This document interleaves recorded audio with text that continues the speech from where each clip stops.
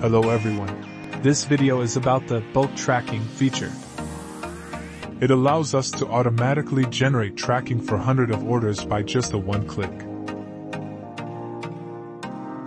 Let's suppose we have these orders. So instead of going to search for a tracking for these orders manually, and one by one, we can just do it automatically and by one click. So first we go to File, and we export our orders in CSV format. After our file is downloaded we go back to the website and upload the file we got. Here we choose the carrier, preferably USPS for more chance to get tracking results. Here the search type, and here the date range when our orders should be shipped, minimum and maximum. For this, we should go back to our order sheet first. We need to start counting from the first column until our customer's zip code column.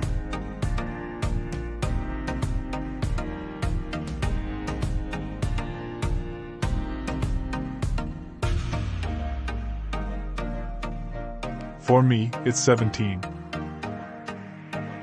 Here the tracking status. As the orders are only of these two days, we can go for in-transit tracking.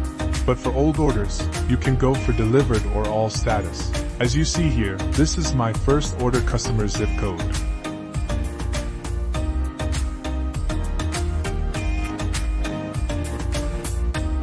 Let's track the tracking number and see if it's really in transit.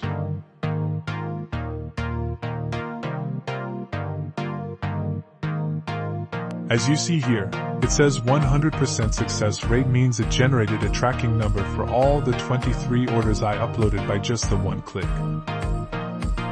It happens that sometimes it might not find a tracking number for an order.